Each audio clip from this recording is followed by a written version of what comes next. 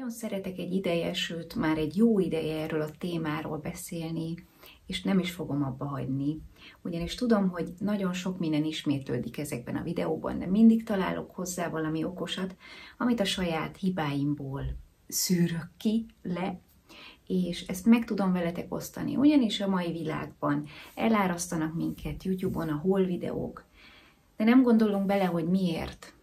Pontosabban valószínű, ti nem gondoltok bele, hogy miért, miért van ez, holott rátok is valószínűleg egy részről rossz hatással van. De ti vagytok azok, akik a legjobban szeretitek ezeket a videókat nézni. És én is nagyon szívesen csinálok ilyen hol videókat, youtuber társaim is, nem mindenki, de, de a legtöbbje, vagy hát én úgy gondolom, hogy sokan. És miért? Mit szoktak mondani? Azt szokták mondani, hogy azért csinálnak hol videókat, mert ti azokat nézitek meg leginkább. Azokon van a legtöbb megtekintés. Ők azokból profitálnak a leginkább, mert ti azt élvezitek. Ergo, nem azt szokták mondani, hogy jaj, de örülök, hogy be tudtam vásárolni most magamnak, és most én megmutatom nektek, hanem sokszor inkább, ha magamból kiindulok, holott én mindig tudtam helyén kezelni a dolgokat, úgy gondoltam eddig. Nem azt mondom, hogy azért vásároltam dolgokat, hogy nektek aztán meg tudjam mutatni, és nem azért, mert nekem tetszettek. Mindkettő. Tehát, hogy én mindig ellavíroztam azon a, azon a részen, amikor kellett is, tetszett is, de mindig ott volt a kis agyamban, hogy hú, majd ha ezt megmutatom a videóban, segítek másoknak, sokan megnézik, és lehet, hogy ebből én is jobban majd profitálok, mindenki boldog lesz. És eljutottam, többen, többen felismerték szerintem, eljutottam egy ponton, méghozzá nyáron a költözés nekem nagyon-nagyon sokban befolyásolta ezt a történetet, nem csak ruhatéren, hanem vásárlás téren, amikor rájöttem, hogy mennyi cuccom is van. És mennyi olyan cuccom van, amit úgymond nem használok. És akkor leesett. Leesett, hogy ez, ez annyira nem király. Úgyhogy nem azt mondom, hogy nem lesz a csatornán hol videó, mert az előző is az volt, ugye? De a hol videó nyilván láthatóan nem volt olyan tartalmas, mint, mint máskor szokott az lenni. Nyilván a legutóbbi shopping videóim nyáron nem voltak olyan nagyon tartalmasak, mint régen, mert egyszerűen átkattant az agyam. Egyszerűen minden shopping videóban elmondtam, hogy úristen, megörülök az emberektől, nem éri meg, nem jó minőségű, nem áll jól, nem veszem meg, inkább nézek másikat. Ezek a shopping videók ezáltal nyilván nem lettek olyan nagyon élvezhetőek szerintem. Én, én élveztem őket, meg elmentem, és nagyon sok mindent tanultam magamról is, de én is észrevettem, nyilván ezt az ívet, hogy sokkal tudatosabb vagyok. Nekem ez pozitívum. Valószínűleg a csatornára tekintve nem, mert kaptam egy-két hozzászólást, hogy spórolósak a videók, ugye? Amiről, amikor így először elolvastam, egy anyát. De aztán rájöttem, hogy igen, mert nem ehhez vagytok szokva de sajnálom, most egy ilyen fázisban vagyok. Imádok vásárolni még mindig, de átgondolom. És nyilván én is a saját viselkedés mintámat próbálom visszafordítani, vagy visszanézni, és ebből tanulni, ami olykor-olykor fájdalmas tud lenni, de szerintem így fejlődik az ember, hogyha magában néz egyszerűen. És néhány tippet hoztam nektek. Néhány olyan dologról fog beszélni, amiket, hogyha én követek, akkor a, automatikusan olyan dolgokat veszek, ami hülyeség, nincs rá szükségem, nem tudom kihasználni. Leginkább ilyen ruhatár történetről, ruhákról beszélek, és különösebb példákat nem hoztam. Tehát, hogy igazából először a pszichológiájába fogok egy kicsit így bemenni, de nem lesz újdonság, amiről beszélek. Utána meg kitérek példákra is, tehát, hogy ki fog térni gyakorlatilag példákra, és amit én mindig elcseszek, vagy elcsesztem, vagy próbálok már nem elcseszni, de lehet, hogy el fog cseszni ezután is. Tehát a lényeg az, hogy nekem van egy ilyen shopping problémám, mindig is volt, mindig is szerettem magam megjutalmazni, és néha akkor is szerettem magam megjutalmazni, amikor nem találtam igazából olyan dolgot, ami, amire szükségem lett volna, ami úgy igazán tetszett volna, csak valamit akartam gyorsan jutalomként magamhoz venni, venni, hogy ezzel kielégítsem ezt az ingert. Általában ezek a dolgok, nem mind, de a legtöbbje a szekrényben landolt, és nem igazán használtam ki őket, mert nem volt átgondolva rendesen. Tehát, hogy gondold át. És alapjáraton azt mondom, hogy ha unalomból vásárolok, vagy hogyha úgymond van időm, és jaj, akkor körülnézek már, jön nyilván ez a gondolat, hogy hú, most annyi időt eltöltöttem a boltokban, és nem vettem semmit. Ez így nem működhet, nem lehet, de lehet. Látjátok ti is a shopping videóban. Én elindultam otthonról fél tízkor, és hazajöttem két dologgal igazából, vagy hárommal az arahommal együtt, három dologgal este fél hatkor, vagy ötkor. És az a helyzet, hogy nem volt az az érzés már bennem, nem azt mondom, hogy meggyógyultam, hogy ó, ez túl kevés. Napközben igen, tehát, hogy most visszapörgetem az én viselkedés mintámat. Napközben volt bennem az az érzés, de próbálom ezeket az érzéseket mostanság nem automatikusan venni, hanem megélni, hogy ez miért van. És valószínű azért is vagyok a videóban általában ilyen elbaszott, vagy nem annyira motivált, mert nekem ezeket át kell élni, és ezeket el kell fogadnom. És nyilván bennem volt az az érzés, hogy mennyi boltban voltam, és nem vettem semmit. És nem pozitívumként jött ez le, hogy bravo, megálltad, kiálltad a próbát, hanem, hanem nyilván az az érzés, az az úgymond függőség, az az érzés, ami mindig bennem volt, hogy most már valamit kell vennem, ezzel ellen én már tudok, tudok egy pajzsot felépíteni. És tényleg csak azokat vettem magamhoz, amik úgymond értelmet nyertek a ruhatáramban, jól kombinálhatóak voltak, és szükségem volt rájuk szükségem volt rájuk, mit is jelent. Ha belenéztek a ruhatáramba, nekem igazából 40 évig nincs semmire szükségem, mert van elég ruhám. De a holénzita még mindig holénzita, és engem még mindig boldoggá tesznek a ruhák, engem még mindig boldoggá tesznek a szép dolgok, és ez nem fog változni. Én csak azt szeretném, hogy a szép dolgokból válogatott szép dolgok legyenek a ruhatárban, nem spontán szép dolgok, amik kihasználhatatlanak, holott én belemegyek még abba is, hogy a ruhatáramból egy része kihasználhatatlan, vagy hogy nagyon keveset tudom, nagyon csak alkalmakra tudom használni, ez ilyen, erre is ki fog térni. Ebbe a kompromisszumba belemegyek, mert vannak olyan darabok, amik nekem alapjáraton, ha már rájuk nézek, nagyon sokat adnak. Nem kell ahhoz kosztpervert néznem, vagy, vagy mit tudom én, minden nap felvennem, hogy úgy gondoljam, hogy megérte ez a darab. Tehát, hogy én egy ilyen tudatos, mégiscsak érzelmi úton mozgok a ruhatárban, és nem szeretném túltolni, mert én úgy gondolom, hogy volt, hogy túltoltam, és most tudatosan próbálok erre figyelni. Tehát, hogy az első pontom, ezt mindig említettem, unalomból vásárlás. Nem kell elmenni a boltba, online unalomból vásárlás. Este, érted, amikor úgy végeztél, sokat dolgoztál, már aki akármit dolgozik, teljesen mindegy.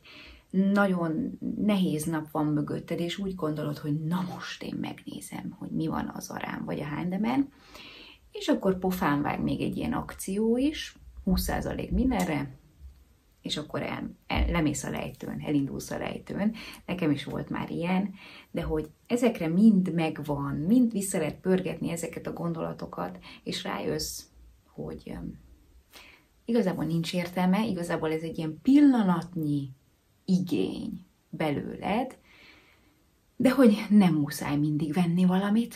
Úgyhogy mindig mondtam ezt példának. Tehát én azt csinálom, hogy beszórok mindent a kosárba, ami tetszene, amire szükségem van, meg amire nincs szükségem, meg ami nagyon tetszik, meg amit soha nem fogok felvenni, tényleg soha. és megyek egyet aludni rá, és még mindig villogott az a 20% ugye, hogy de csak ma. Nem. Ez nem csak ma van. Ez mindig lesz ez a 20%, vagy akár több is. Mindig. Tehát, hogy ezt érdemes átgondolni. Tudjátok szerintem ti is azt, biztos, hogy megfigyeltétek azt, hogy működik ez az egész történet. Ez úgy működik például, hogy én a Notinónál szoktam ezt észrevenni, hogy én általában így köztes időben beszórok dolgokat a notínos kosaramba. Ami kelleni fog majd, mert tudom, hogy elfogy majd két hét múlva, és úgy vagyok vele, hogy belerakom a kosárba, és ha látom, hogy elfogy mondjuk a ceravés arclemosónk, amit most már ketten is használunk, és hamar elfogy, akkor majd, majd utána rendelem. Én nem felírom listára, hogy ebből kevés van, hanem bepakolom a kosárba, és az ugye elmentődik. De a Notino az úgy működik, hogy nem hagy téged békén, küldi az e-mailt, hogy a kosaradban vannak dolgok, amiket nem vettél meg minden nap, érted? és így, jó, de én még nem akarom megvenni. Aztán küldi az e-mailt, amikor van valamiféle kuponkódja, volt mondjuk múltkor kozmetikai dolgokra 15 ami, ami teljesen kiakadtam, mert belerakod a kosárba, és akkor kiderül, hogy amúgy erre se, meg erre se, meg erre se vonatkozik, és akkor van mínusz 2,50 euró, amit levonnak a végén a jó kis 15%-os kuponkódodon, mindegy. Ebben most nem akarok belemenni. De hogy van az a 15 százalék, csak ma ugye.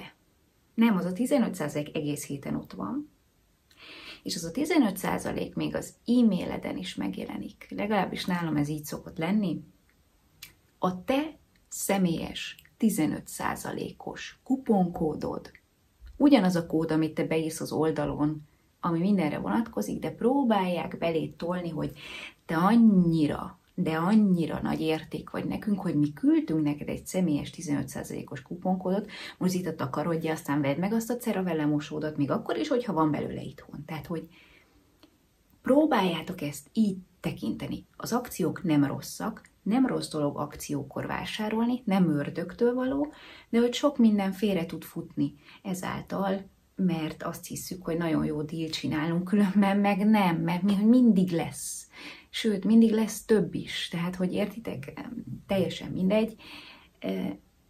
Tehát unalomból vásárlás, akciósan vásárlás, tök jó, de én mindig azt mondom, főleg ugye, amit mondtam előbb is, hogy ugye a jutalmazás. Szerintem ez a leg, leginkább húzóerő, tudjátok, én is sokszor éreztem azt, hogy de én most úgy elfáradtam, de én, én most ezt olyan jól csináltam, nekem kell valami jutalom. De hülyeség, mert amúgy minden nap elfáradok, és minden nap jól csinálom, és, és nem kell olyan dolgokat jutalmaznom magamnak, amire nincs szükségem, olyan dolgokat is jutalmazhatok magamnak, olyan dolgokat is vehetek magamnak ajándékba, amit kihasználok, amit szeretni fogok, és amire van szükségem. De rájöttem arra, hogy ezeket a dolgokat, hogy ki tudjam magamnak keresni, és igényem legyen rájuk, időre van szükségem. Nekem el kell jutnom addig, hogy, hogy tudjam, hogy mire van szükségem. Ezért szoktam azt mondani, és ezért csinálom én is már ezt egy jó ideje, kívánságlistát írok.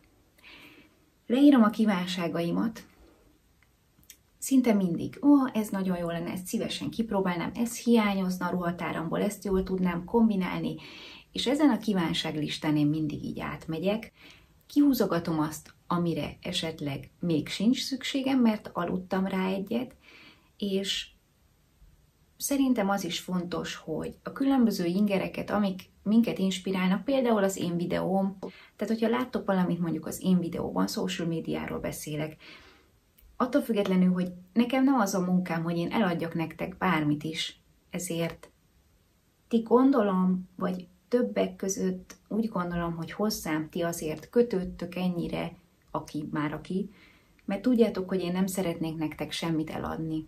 Nekem nincs abból semmim, hogyha én megmutatom úgymond, hogy, vagy, vagy megmondom, hogy ez az arából van, mert engem nem fizetett meg arra senki, hogy én azt megmutassam nektek. Ami van nekem bevételem, az a reklámokból van, hogyha ti megnézitek, tehát, hogy én úgymond mutathatom 40 percen keresztül is Bellita, hogy vakarózik, és belerakhatom a reklámokat, és hogyha megnézitek, van belőle bevételem. De eladásból, hogy én nektek termékeket és akármit megmutatok, abból nekem nincs semmi pénzem. Ezért úgy gondolom, hogy ti hozzám jobban kötöttök, mert tudjátok, hogy az őszinte véleményemet mondom el, nem mint hogyha az, akinek ebből pénze lenne, nem mindig az őszintét mondaná, de azért tudjuk, hogy ez nem mindig így van, ugye? Valószínűleg nekem se fog többet az Estée Lauder Magyarország parfümöt küldeni, úgyhogy a legutóbbi parfümös videóban elmondtam, hogy amit küldtek, az kúról büdös, bocsánat. Tehát, hogy értitek, nekem ez ennyire egyszerű igazából, nekem ezt egyszerű kimondani, nekem nem függ rajta úgymond a bevételem azon, hogyha valamit én leszarozok, mert tényleg szar, vagy hát nekem nem tetszik. Mert én ilyen vagyok, én elmondom nektek, de ti ezért kötöttök hozzám, de ezáltal is befolyásollak titeket, mert hogyha én azt mondom, hogy ez rohadt jó ez a cipő, gyerekek, ez nagyon kényelmes, és tudjátok, hogy én hogy, hogy én ezt az én pénzemből vettem, nem ajándékba kaptam, még az is lehet, hogy neked nem jó. És még az is lehet, hogy attól még, hogy nekem arra a cipőre úgy gondoltam, hogy szükségem volt, neked nincs rá. Tehát, hogy attól még, hogy nekem nem ez a munkám, befolyásolhatlak téged azért, mert te mondjuk érzelmileg kötődsz hozzám, vagy te szeretsz úgymond engem, vagy kedvelsz engem, mert én őszinte vagyok, gondold meg, hogy neked tényleg kell az a dolog, amit én megmutattam, amiben lehet, hogy még annó én sem voltam biztos, hogy nekem kell. Nagyon belebonyolódunk most ebbe a témába szerintem.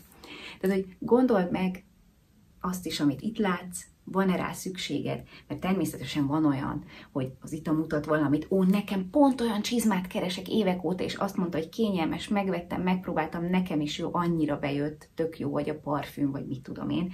Van ilyen, és nekem nyilván ez a célom, de nem szeretném, hogy ti miattam olyan dolgokat vegyetek, amire nincs szükségetek, vagy mit tudom én, értitek. Tehát, hogy ez nekem fontos és fontos is volt és erről szeretek nyíltan beszélni. Tehát, hogy kívánságlista, ír kívánságlistát például, nekem ez sokat segít. Mindig végigmegyek rajta, kihúzom azt, ami esetleg olyan dolog, amiről tudom, hogy egy adott pillanatban egy adott valaki befolyásolt, de utána, hogy én azt már elfelejtettem, az igény rá el is múlt, vagy a szükséglet úgymond elszállt, mert mert utána már nem volt annyira fontos. Mert nyilván, hogyha 60-an megmutatják ezt neked, hogy mennyire jó, úgy érzed, hogy kell neked. Ezért jó a kívánságlista, mert arról tényleg tudod azt, hogy mi az, ami egy ideje, régebb óta rajta van, és minden nap gondolsz rá, vagy nem azt mondom, hogy gondolsz rá, vagy ha ránézel a listádra, akkor még mindig azt mondod, hogy igen, ó, ez nekem még mindig nagyon-nagyon kellene ez vezet arra a pontra, vagy számomra igazából itt arra jöttem rá, hogy túl gyorsan vásárolok, túl gyorsan veszem meg azokat a dolgokat, amire úgy gondolom, hogy szükségem van. És ugye mondtam nektek, hogy aludjatok rá egyet, rak be a kosárba, aludjál rá egyet, aztán nézd meg. Lehet, hogy nem elég. Lehet, hogy nekem például több időre van arra, arra szükségem, van kivétel is, tehát hogy vannak a szerelem darabok, amit tudom, hogy ezt most meg kell vennem, akkor van egy ilyen különleges érzés bennem, és, és az jó, hogy megvettem. De a legtöbb dolognál úgy érzem, hogy érdemes több időt rászánnom erre, és úgy érzem, hogy érdemes kivárnom, nem az akciót, hanem kivárnom saját magam viselkedését és saját magam viszonyulását ahhoz a dologhoz, amire úgy gondolom, hogy szükségem van.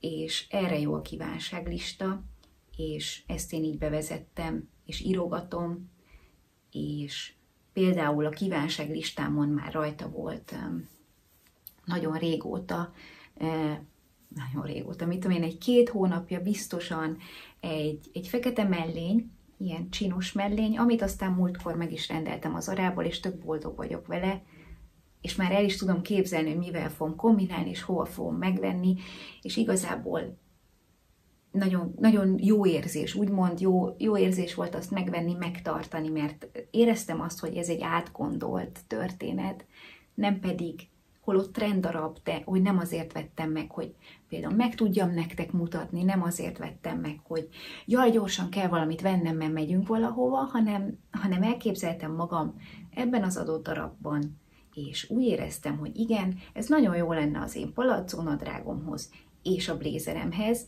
mert alá mégiscsak kell valamit vennem, és nem mindig akarok fehér inget hordani alatta.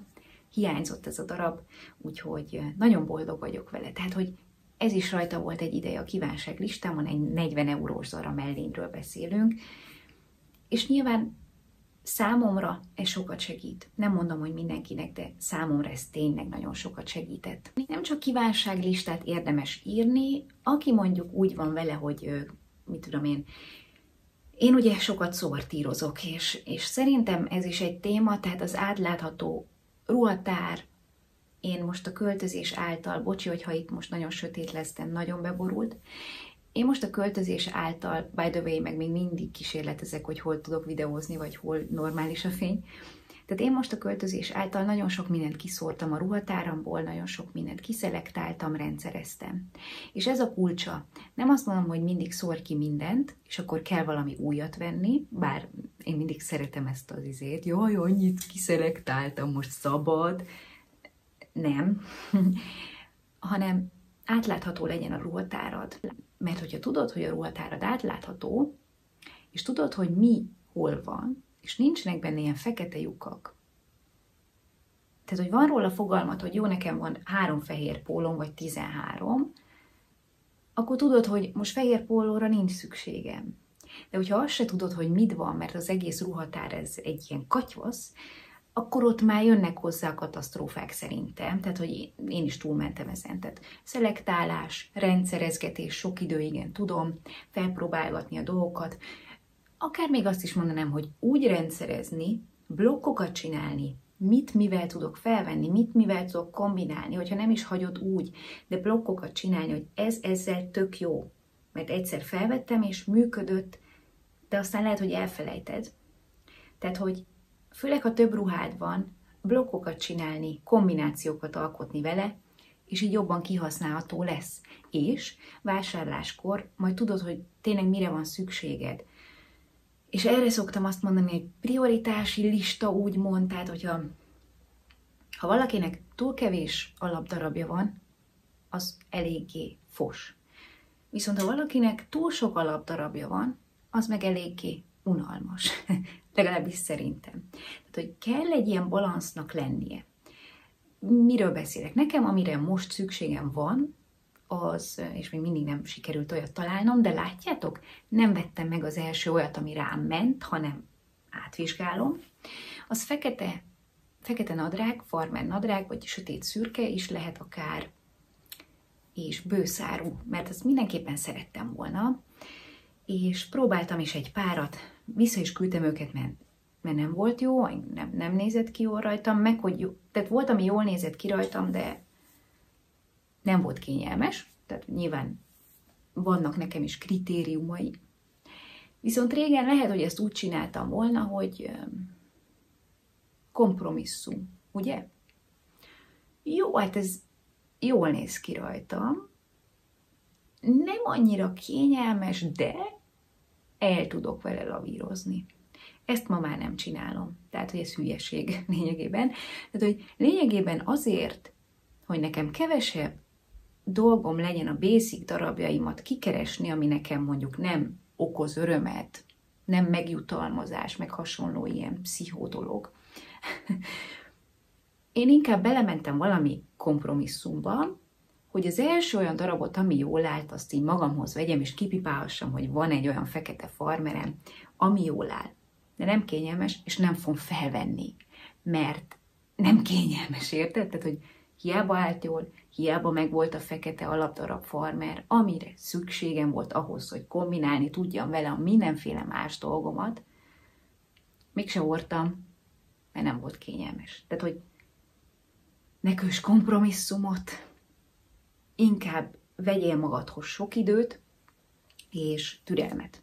És nekem is ez nagyon nehéz, és rájöttem erre, hogy nekem nem kell az első olyan dolgot megvennem, ami, ami jól passzol. Nekem egyszerűen meg kell néznem azt, hogy kényelmes is legyen, tehát hogy jól is passzoljon, könnyű legyen mosni, vagy, vagy tehát hogy úgymond ilyen lusta biztos legyen, és nagyon egyszerűen felkapható legyen, mert én akkor leszek boldog, és akkor fog valamit hordani, hogyha ezeknek a kritériumoknak mind megfelel. És az nagyon ritka, amikor az első olyan alkalommal azt kiszúrod, és megvan neked, tehát, hogy nekem ezen dolgozni kell, nekem több mindent fel kell próbálni, nekem ehhez időt kell szentelni, és még akkor is, hogyha fáj, mert egy fekete farmerről beszélünk, ez így van, és nekem, és csak, én csak így fogom hordani.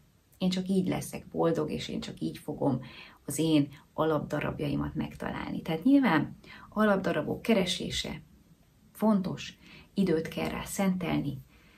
Kellenek az alapdarabok, ezt mindig elmondtam, mert úgy tudod csak jól kombinálni a ruhatáradat, egyszerűen azok nélkül nem megy, vagy hát megy, de nem leszel boldog tőle, vagy nem fogod jól kihasználni azokat az esetleges, kicsit bonyolultabb ruháidat, nem fogod tudni máshoz kombinálni, mert nem, nem passzol össze. Kellenek a jó alapok. Aztán, hogyha túl sok alapdarab van például, az nyilván nagyon unalmas lehet egy idő után, hogy mindig, nem mindenkinek, ezt nem mondom számomra, tehát magamból indulok. Ki tudom, hogy sokan vannak, akik örülnek annak, hogy minden nap felvehetnek egy kék farmert fehér pólóval és egy fekete bőrcsekit, meg egy fehér tornacipőt, és ez így jól van, tök jó. Nekem, tehát, hogy nekem ez kevés. Nekem ez inger szegény, és ezért mondom azt, a túl sok alapdarab valakiknek lehet, hogy jó, de valakiknek unalmas lehet. És sokszor úgy vagyunk vele, vagy szerintem. Tehát, hogy alapdarabokat vásárolni, például, hogyha pólókról beszélünk, nem lehet elég fehér pólód, meg mit tudom én. Nincs értelme szerintem 68-szor ugyanolyan fehér pólókat venni, mert úgyis jó lesz még, meg ez is jó lesz még, meg ez kell, meg mit tudom én. Én rájöttem most arra, amikor a kozban megtaláltam ezt a fehér pólót, mindig, mindig problémám volt ilyen fehér póló beszerzéssel, mert egyszerűen nem találtam meg azt, ami úgymond jól áll nekem, ami úgymond minőségben passzol, ami nem fordul el egy mosás után.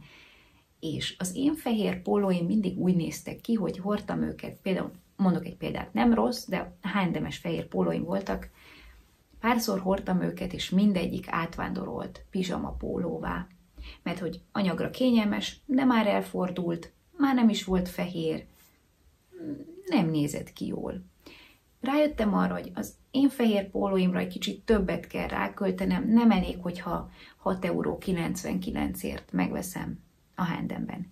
Én most tettem egy fehér pólót a kosztól 40 euróért, ami nagyon sok, de hogy jól betűrhető, karcsúsított, anyagilag szuper, ugyan még nem sokszor mostam, de remélem, hogy ennyi pénzért örömöm lesz vele.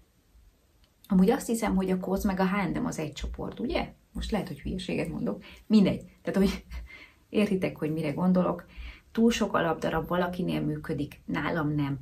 Tehát én általában megpróbálom megkeresni ezt a, az arany középutat, mert nekem is szükségem van alapdarabokra, és hogyha alapdarabokat veszek, most már arra figyelek, hogy jó minőségű legyen, kényelmes legyen, jól álljon, és az ilyet számomra nehéz megtalálni, nem megy egy nap alatt valamikor.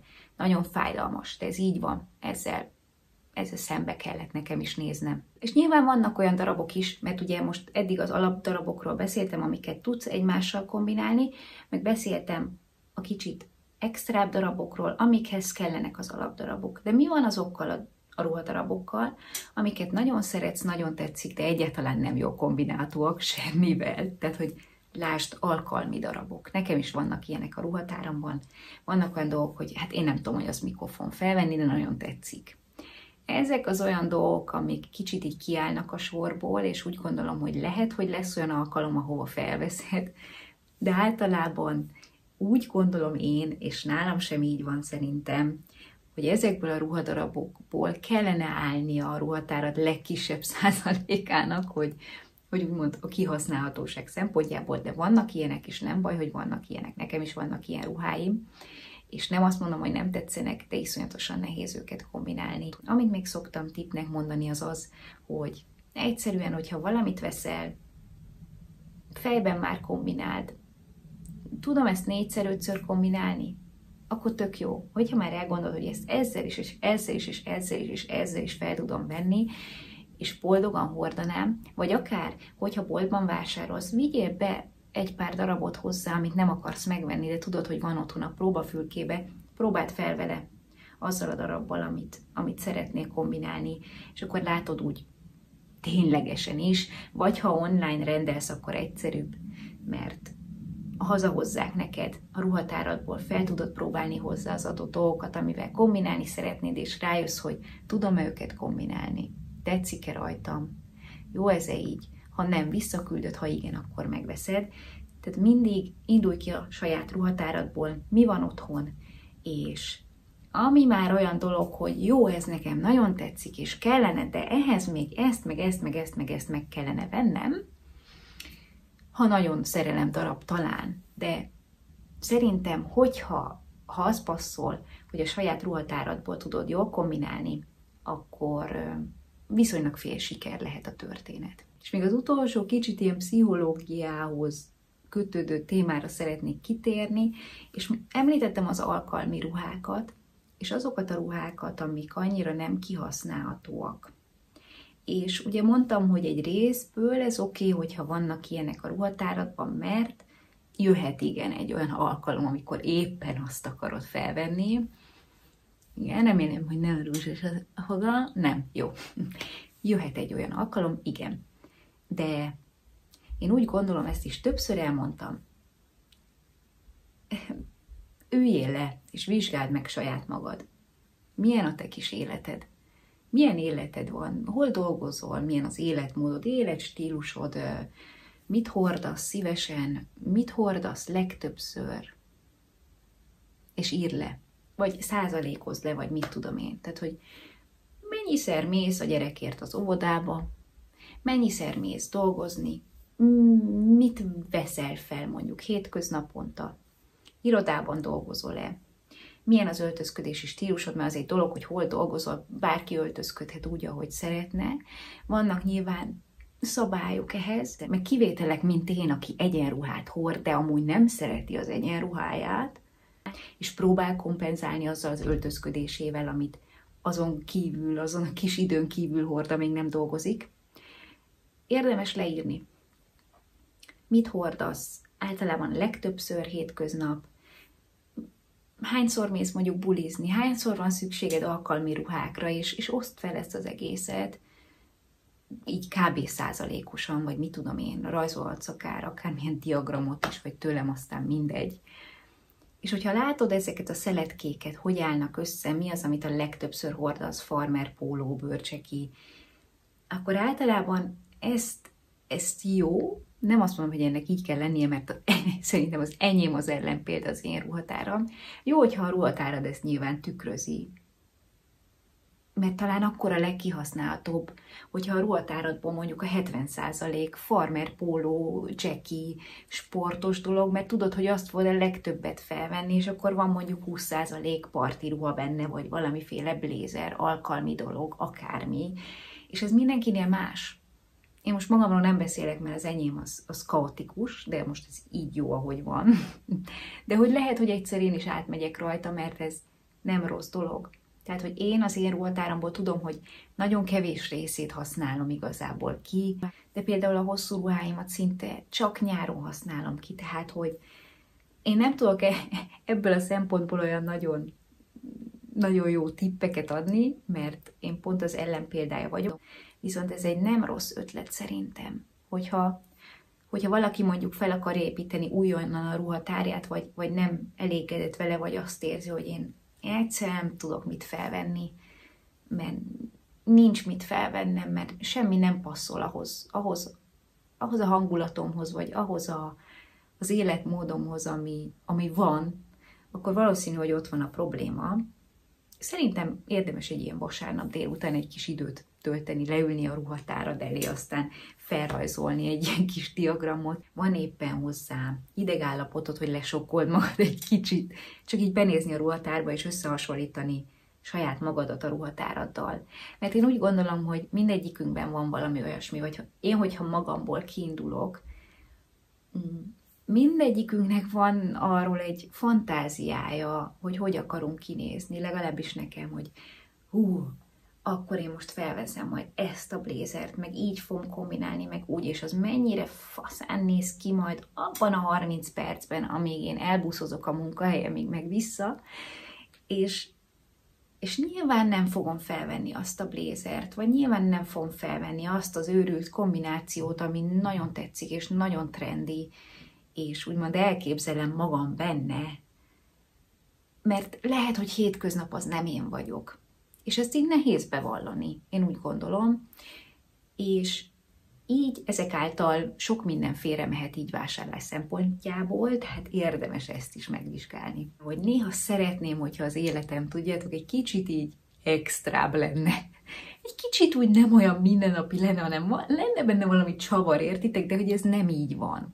És, és nekem ezt is fel kellett fognom ilyen szempontból, és erre rá kellett jönnöm. És ha most szeretnék egy-két példát mondani, amit például én mindig megbánok így vásárlás alapján, vagy amire én nem figyelek, olyan kis kritériumok, amiket így figyelmen kívül hagyok, és azok, tehát azok a darabok nekem soha nem jönnek be, például, tehát én úgy hívom őket, hogy az álló ruhák.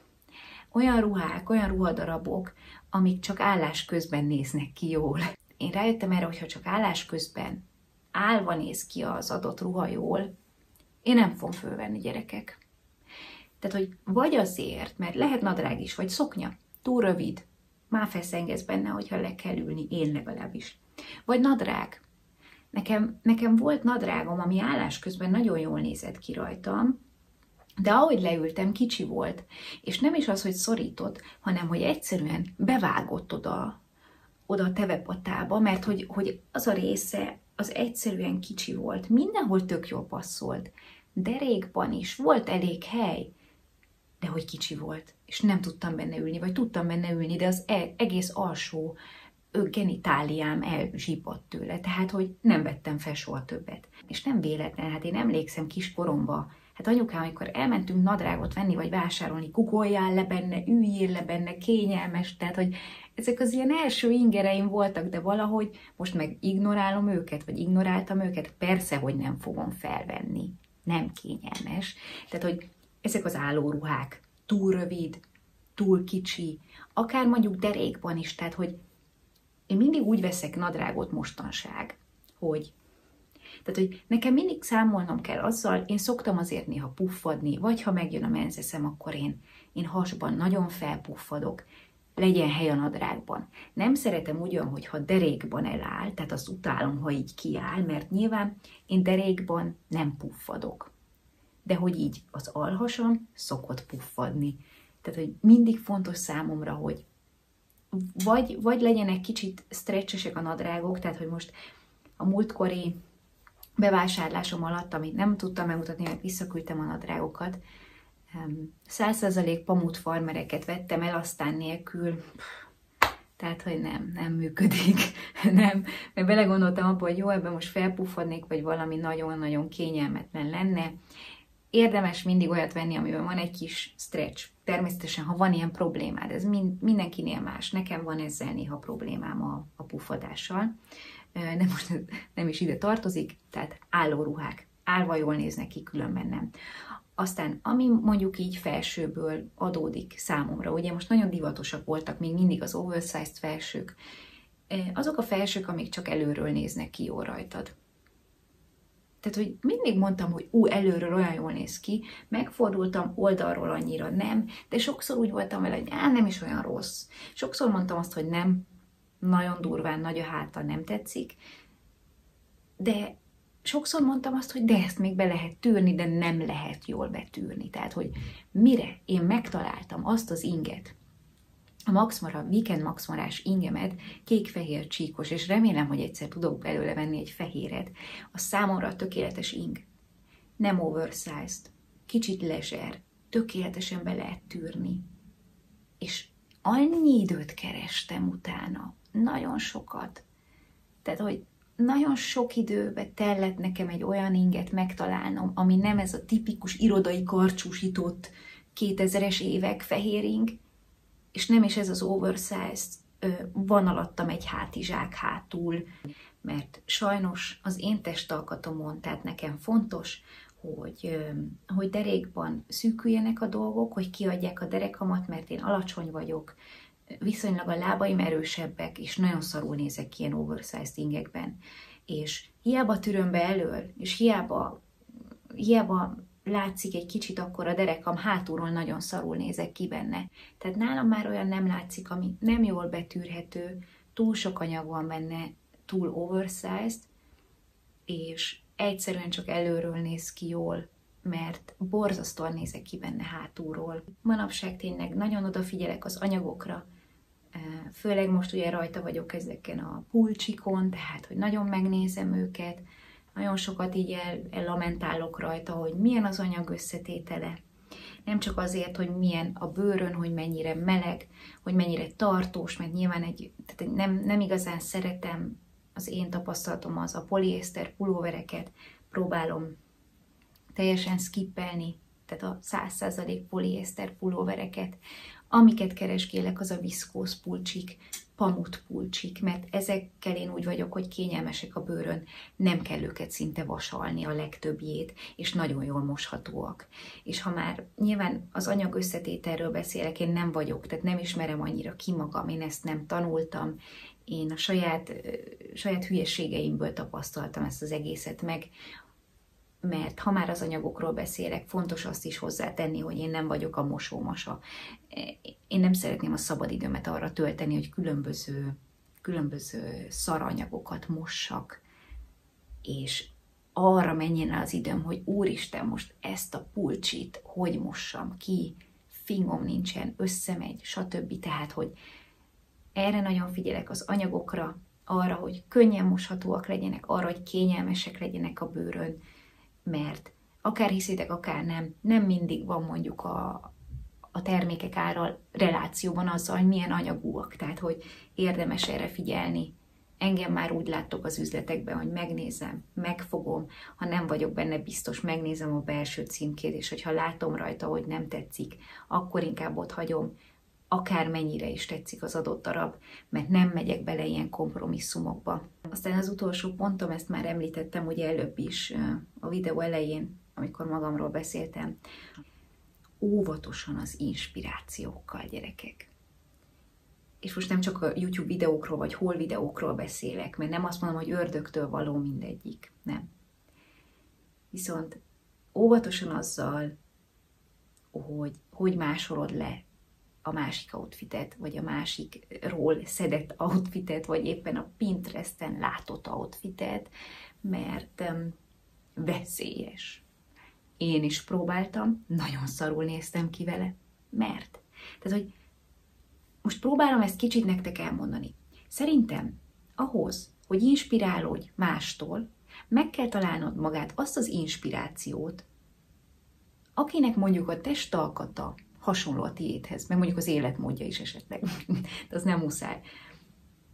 Mert én is próbáltam olyan outfiteket, amik mondjuk lehet, hogy egy 180 centis, 45 kilós modellen nagyon jól álltak, de rajtam nem az én 163 centimmel. Szarul. És próbálod rekreálni ezeket a dolgokat, próbálod úgymond lemásolni, amivel nincsen probléma, mert azért vannak ezek a képek, hogy inspirálódjál belőlük. De hogy rajtad soha nem fog úgy kinézni, ha csak nem ugyanolyan alakod van. És lehet, hogy még akkor sem. Mert általában mi csak egy képet látunk, ugye?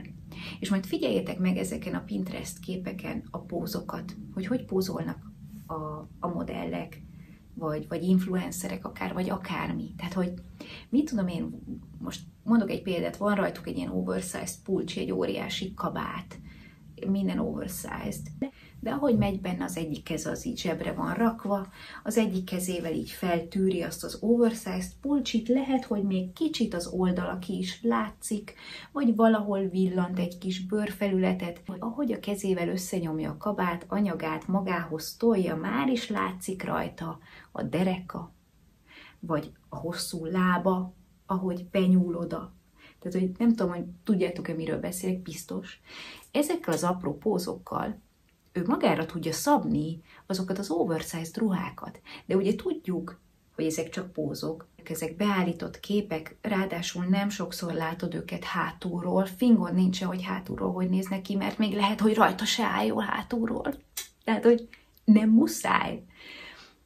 Gondolj bele, hogy te, hogyha ezeket a kis apró pózokat nem veted be, mondjuk azoknál az oversized ruháknál lehet, sőt, szinte biztos, hogy amikor a Lidlből hozott ki a két karton tejedet például, nem fogsz olyan jól kinézni azokban a ruhákban, amiket lemásoltál arról az influencerről, aki úgy pózol. Mert a te hétköznapi életedben te nem úgy járkálsz az utcán. Nem is tudom, hogy szabad-e két karton tejet venni már Magyarországon. Mindegy, lényegtelen. Értitek, hogy mire gondolok? Mind beállított képek. Szerintem az a fontos, hogy maga az outfit, ami tetszik neked, amiben jól érzed magad, az, az, az azért is érez jól magad benne, mert hogy, hogyha magadra nézel, mint hétköznapi önmagad, ahogy te létezel a hétköznapokban, akkor jól áll és jól érzed magad benne, és nem kell különösebben nagyon odafigyelni, hogy hogy is állok benne.